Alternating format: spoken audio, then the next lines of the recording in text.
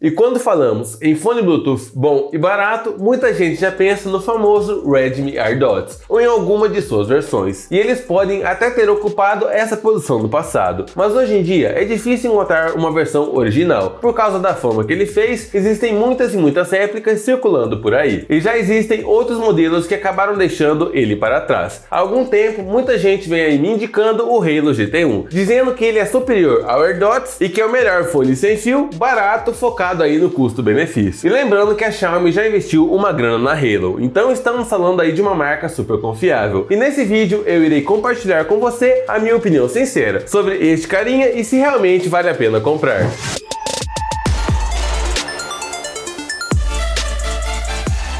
Começando pela sua embalagem, temos aqui o padrão Halo. Então vamos ver bastante aqui as cores azul e também o branco. Ainda conseguimos ver aqui uma foto do fone, marcação do modelo e atrás algumas especificações, mas que não consigo ler direito por conta dessa etiqueta. Mas fica tranquilo porque durante o vídeo vou abordar tudo o que você precisa saber. Abrindo aqui pela parte de cima, vamos ter o fone em si, que vem aqui com uma proteçãozinha. Já vamos aproveitar para retirar ela aqui. Então esta aqui é a sua case e agora abrindo a caixa aqui pela parte de baixo, vamos ter mais algumas coisinhas. Aqui está o manual, este aqui que é o manualzinho que vem apenas em inglês e chinês. Português não está aí disponível, mas não faz muita diferença, porque vocês vão ver que é bem simples aqui para usar este fone. Ainda temos aqui o cabo de carregamento, já vamos aproveitar para abrir. Ele que ainda é micro USB, bem que poderia ser né, USB tipo C, porque teríamos um carregamento mais rápido e um cabo que é cada vez mais padrão em vários acessórios. E por último, vamos ter aqui as ponteiras de silicone aí no tamanho P e G. Então abrindo aqui, você pode trocar e ver qual se encaixa melhor no seu ouvido. E aqui está a case que já vem com sones dentro. Eu optei por comprar na cor preta, mas você também pode comprar no branco caso prefira. Eu comprei ele pela Shopee e demorou mais ou menos uns 15 dias para chegar. E eu não fui taxado. E fique tranquilo, porque é praticamente impossível ser taxado comprando um produtinho assim como esse. E para quem tiver interesse em comprar também, estou deixando o link de compra com o melhor preço aí na descrição. Estão aparecendo umas promoções bem agressivas desse modelo aqui, então fique de olho. E se você quiser economizar ainda mais, eu recomendo que se cadastre no Cuponomia. Eles são uma plataforma de cashback. Então você compra qualquer produto e eles devolvem parte do seu dinheiro. São mais de duas mil lojas parceiras, incluindo a Shopee, Amazon, AliExpress, Americanas e muitas outras. É só se cadastrar e ativar o cashback antes das suas compras. E eles ainda fornecem vários cupons de desconto. Então aproveita e se cadastra aí e entrando pelo primeiro link da descrição você já ganha 5 reais. E como estamos falando aqui de um fone de ouvido, já vamos começar pelo mais importante que é qualidade sonora. E pela faixa de preço, eu sinceramente não estava esperando muito, mas eu gostei demais do que eu ouvi aqui. Temos aqui drivers de 7.2mm e codec de áudio AAC, que é o mais básico, mas já era de se esperar né, pelo preço do fone. E o que eu mais gostei é que o som é muito equilibrado, nenhuma frequência se sobrepõe à outra. Você escuta muito bem os agudos, os médios também são muito bons, e o que mais me agradou é que temos aqui um bom nível de graves. Não é exagerado e também não é aquele fone sem batidas, eu gostei demais mesmo e o volume também é bem alto. Eu nem consigo usar os fones com volume aí no máximo. E lembrando também que eu já trouxe um vídeo aqui para o canal ensinando a como melhorar e equalizar o áudio aí do seu fone conforme o seu gosto. É esse vídeo que está passando aqui nos cards e também estou deixando o link na descrição para você assistir depois.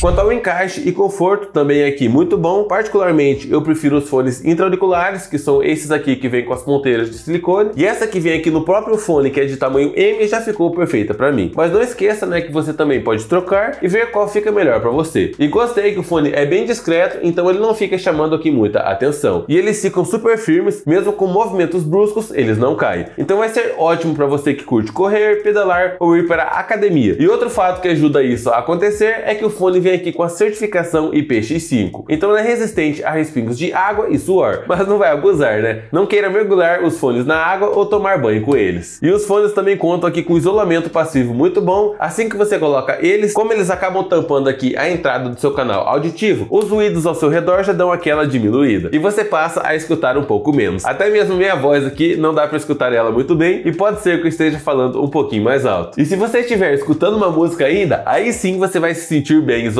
E a Halo também promete um chamado de isolamento de ruído digital para diminuir a captação dos ruídos durante as suas chamadas. E para vocês verem na prática, essa aqui é a qualidade que você pode esperar do seu Halo GT1. O som já está sendo capturado diretamente aqui pelo seu microfone e não estou fazendo nenhum tipo de tratamento. É um áudio 100% original. Mas se você vai gravar um vídeo e tem a possibilidade de tratar o áudio, esse aqui é um exemplo de tratamento de áudio que você pode fazer para o seu Halo GT1 para tentar melhorar aí a sua qualidade. Então aproveitem para deixar aí nos comentários. O seu microfone está aprovado ou não? E falando de outro ponto que curti demais esse modelo é que a sua case é aqui muito compacta. Com certeza está entre as menores de todos os fones que eu já testei. Isso torna bem fácil o processo de levar ela quando você for sair de casa. Então não vai ocupar espaço nenhum na sua mochila e cabe tranquilamente no bolso dos seus shorts ou calça. Sem contar que é muito leve, cada fone pesa apenas 3,9 gramas e o peso total da case com os fones é de apenas 40 gramas. E já aproveitando para dar aqui uma olhada mais de perto na case, vamos ter aqui a marcação Halo, embaixo temos uma série de especificações e também certificações, e na parte de trás temos aqui a entrada micro USB, e nesse pontinho é onde se acende o seu LED. E a case é construída aqui toda em plástico fosco. Abrindo a case, vamos ter aqui os fones e também podemos ver a marcação da letra R e L, para indicar aí o lado direito e esquerdo. A case fecha aqui de forma forma magnética, então você não precisa se preocupar que ela não vai ficar abrindo sozinha. E o mesmo acontece com os fones, que se encaixam aqui de forma magnética. Então mesmo com a tampa aberta, eles não caem. Tirando aqui os fones, vamos ter esses dois pontinhos, que é onde o fone aí se encaixa para começar a carregar. Então você vai encaixar esses contatos dourados que estão aqui no fone, nos dois pininhos que ficam dentro da case. E falando aqui nos fones, os dois também contam com uma letra para indicar aí seu lado esquerdo ou direito. Neste caso, como temos aqui a letra L, é porque estou com o lado esquerdo na mão. Aqui atrás nós temos a área que é sensível ao touch e por onde você consegue controlar várias funções do seu smartphone e já mostrarei em detalhes como vocês podem usar. E veja que os fones lembram aqui muito AirDots e eu acho o Halo até mais bonito. Sua construção, assim como a case, também é aqui de plástico fosco. E além de smartphones, os fones também são compatíveis aqui com tablets, computadores, TVs e praticamente todos os dispositivos Bluetooth. Nós temos aqui a versão 5.0 que funciona super bem e que te permite ficar até uma distância de 10 metros do aparelho ao qual você se conectou. Mas caso tenha obstáculo entre os dois, essa distância pode cair aí um pouco. Lembrando também que ele é compatível tanto com Android quanto com iOS. E para se conectar é muito simples, basta tirar aqui primeiro o lado direito da case e depois o lado esquerdo. Aí os fones vão começar a piscar dessa forma, na verdade um vai continuar piscando e o outro vai parar. É porque os fones já estão aqui conectados entre si. E quando ele está piscando dessa forma é porque ele está aguardando aí o pareamento com seu smartphone. Aí você pode colocar o seu fone no ouvido e ativar aqui o Bluetooth do seu smartphone smartphone. Você vai descer até lá embaixo e procurar por dispositivos disponíveis. E já vai aparecer aqui o Halo GT1. Aí basta você apertar em cima, aguardar alguns segundinhos e confirmar aqui o pedido de pareamento. E pronto, você vai ver aí que você já está conectado para chamadas e também para áudio e você ainda consegue inclusive ver quanto de bateria resta aí nos seus fones. No meu caso, resta aqui 70% de bateria. Lembrando que você pode usar apenas um lado de cada vez para poupar bateria, então você pode deixar um lado guardado dentro da case enquanto usa apenas o outro. E quando este aqui ficar sem bateria, você vem e usa o outro porque a sua bateria vai estar cheia. Então você vai conseguir usar pelo dobro do tempo. E outra opção bem legal que temos aqui é a conexão automática. Então após você fazer esse processo, sempre que você guardar aqui os fones dentro da case, eles já vão se desconectar de forma automática aí do seu smartphone. E sempre que você retirar eles da case, ele também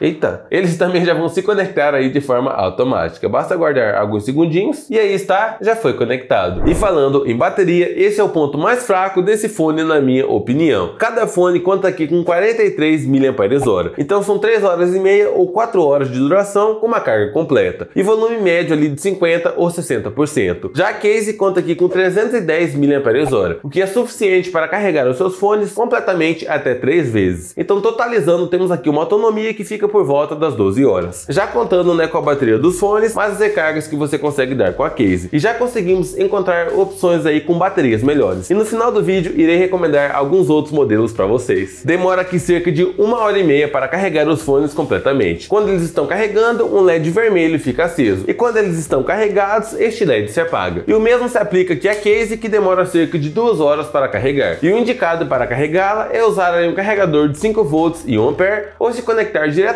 na porta USB de um PC, notebook ou outro aparelho. E um ponto negativo é que não temos aqui um indicador de bateria. Então você não sabe se sua case está com 90% de bateria, 50%, se está perto da hora de carregar e coisas do tipo. E agora vamos conhecer aqui os controles do touch. Eu prefiro que seja assim do que por botão, como eram aí nos AirDots, porque você tinha que ficar pressionando o fone contra o seu ouvido e isso me incomodava bastante. Mas a desvantagem do touch é que podem ocorrer toques acidentais. Então você vai arrumar o fone na orelha e sem querer acaba mexendo em todas as funções. Mas vamos conhecer as funções aqui. Com um toque aqui de qualquer lado, você vai pausar a sua faixa e com outro toque você também despausa. Independente se foi do lado direito ou do lado esquerdo. E agora, né, deu uma confusãozinha aqui. Seguindo o manual e o que a Halo diz, com dois toques deveria pular para a próxima faixa, isso do lado direito, e com dois toques aqui do lado esquerdo, você deveria voltar para a faixa anterior. Mas por algum motivo o meu fone veio aí bugado e com três toques era para ser chamada aí a sua assistente virtual. Mas o meu veio aqui trocado, então dando dois toques aqui do lado esquerdo ou do lado direito, em vez de pular a faixa, abre aqui a assistente virtual. Então eu não estou conseguindo pular de uma música para outra, o que é bem triste. Mas talvez a sua unidade esteja normal e aí é só você seguir o que eu falei. Dois toques para trocar de faixa e três toques para chamar a assistente virtual. E se você estiver recebendo uma chamada, com dois toques aí de qualquer lado, você atende essa chamada e com mais dois toques você encerra a chamada que estava em andamento. E para ignorar essa chamada, basta ficar segurado aqui no touch por cerca de um segundo. Infelizmente não temos também o controlador do nível de volume. Você só consegue alterar pelo seu smartphone mesmo. E uma vantagem para algumas pessoas é que os fones não vêm com aquela assistente que fica falando em inglês power on, power off, connected e assim por diante. Eu sei que muitas pessoas não gostam disso e em vez da assistente falando, o fone faz aqui apenas alguns bips. E você ainda consegue desligar os fones manualmente, basta segurar aqui no seu touch por cerca de 5 segundos e também consegue ligar manualmente, segurando os fones aí por cerca de 3 segundos. E se você tiver qualquer problema com seu fone e quiser resetar ele, basta guardar os dois aí dentro da case, aí você vem até o seu smartphone, entra nas definições aqui do Bluetooth, aperta aqui nas configurações e vem aqui em desparear. Agora você já pode retirar aqui os fones da case novamente, aguarda alguns segundinhos, guarda aqui de novo e agora é só segurar no seu touch por cerca de 10 segundos. Isso aqui nos dois fones ao mesmo tempo, até que o LED do fone pisca aqui na cor vermelho e branco rapidamente três vezes seguidas. Quanto ao delay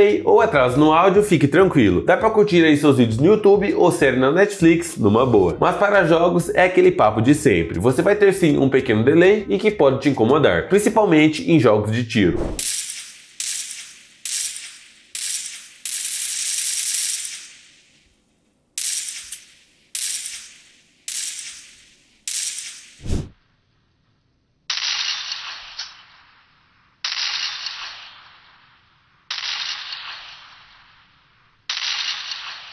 E agora, concluindo, galera, eu gostei muito do Halo GT1 e eu prefiro ele em relação aqui aos velhos conhecidos AirDots. O Halo GT1 é um fone que é realmente muito bom e até melhor do que pensei pela sua faixa de preço. Mas se você me perguntar se ele é o melhor fone sem fio barato, aí eu acho que não. Mas com certeza ele está entre os melhores. E como prometido, tenho aqui a recomendação de outros modelos para você. Então não compre o GT1 de cara. Indico que conheça o A8036, eu paguei mais ou menos aí uns 70 reais nele e ele é super bom. E na faixa dos 100 ou 110 reais, indico que conheçam o QCY-T13, que para mim é a melhor opção de todas. Os links desses dois vídeos estão aí na descrição e também não esqueça de comentar a sua opinião sobre o Halo GT1. Lembrando que os links de compra com os melhores preços estão aí na descrição do vídeo. E o primeiro link é para você se cadastrar no Cuponomia, ganhar 5 reais e cashback em todas as suas compras. Se você gostou do vídeo, deixa o like, se inscreve no canal e é basicamente isso. Valeu galera e fui!